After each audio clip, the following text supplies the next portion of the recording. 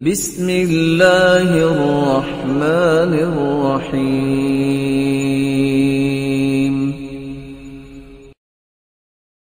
اپنی زبان کی حفاظت کرو۔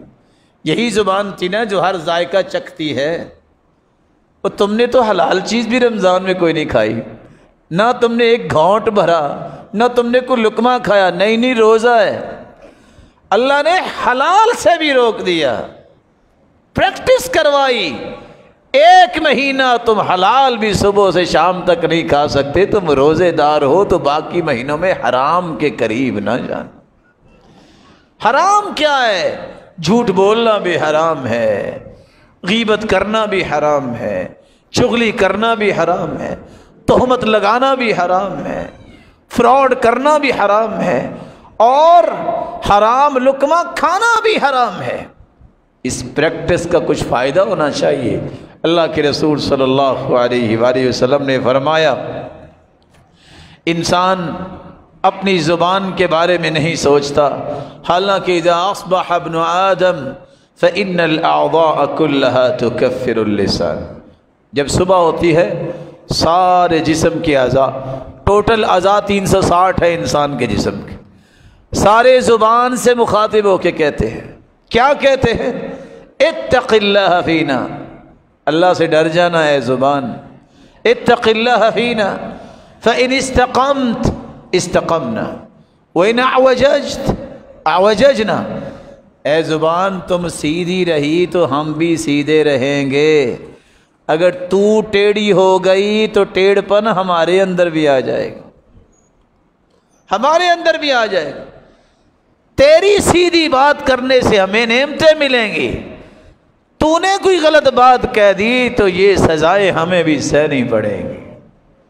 زبان کی حفاظت کیجیے۔ وہ کیسے ہوں گے سیدنا ابو بکر جو اپنی زبان کو کھینچ رہے تھے؟ سیدنا عمر نے پوچھا میں غفر اللہ لک۔ اے اللہ، آپ کو معاف کرے، آپ کیا کر رہے ہیں؟ آپ زبان کیوں کھینچ رہے ہیں؟ فرمایا ان هذا الذي الموارد اگر حالاتوں کی طرف لے کے جاتی ہے تو یہ زبان ہی لے کے جاتی میں اس کی تربیت کر رہا ہوں۔ اللہ کے رسول نے سچ فرمایا تھا۔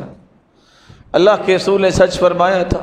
صحابی جا رہے ہیں معاذ بن جبل۔ اللہ کے رسول نے اسلام کی بھی بات کی، ایمان کی بھی بات کی، جہاد کی بھی بات کی۔ مختلف باتیں کرنے کے بعد فرمایا، میرے صحابی وحل یقب بننا سعلی مناخر اللہ حصائد السنتہم یہ اسلام قبول کرنے والے ہیں، ایمان کا دعویٰ کرنے والے ہیں، نیکیاں کرنے والے قیامت کو اگر جہنم میں الٹے لٹکائے جائیں گے تو زبانوں کی وجہ سے لٹکائے جائیں اس لیے رمضان کے بعد اپنی زبان کی حفاظت کیجیے اور زبان کی حفاظت کرنے والے کی زندگی میں بھی اللہ نے ایسی رونق رکھی ہے کہ آپ سوچ نہیں سکتے۔ ملانت کلیمت ہو وجبت محبت ہو جس کی زبان میں نرمی آ جاتی اللہ پوری دنیا کے دلوں میں اس کی محبت بھر دیتے ہیں۔